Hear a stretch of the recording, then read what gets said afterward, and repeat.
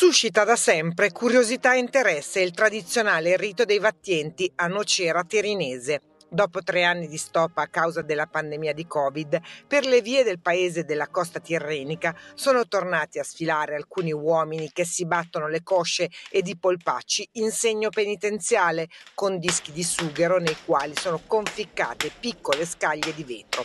Il millenario rito dei Vattienti, nonostante la situazione dell'epidemia sia da mesi sotto controllo, era stato in un primo tempo vietato dal comune per motivi di salute pubblica. Secondo la commissione che gestisce il comune lametino, attualmente commissariato per presunti condizionamenti dell'andrangheta, la pratica dello spargimento di sangue per le vie cittadine è in assoluto contrasto con le primarie esigenze di tutela della salute pubblica e salubrità dell'ambiente. Il paese e i fedeli però sono insorti e hanno ottenuto di poter celebrare il cruento rito a cui sono state imposte alcune prescrizioni.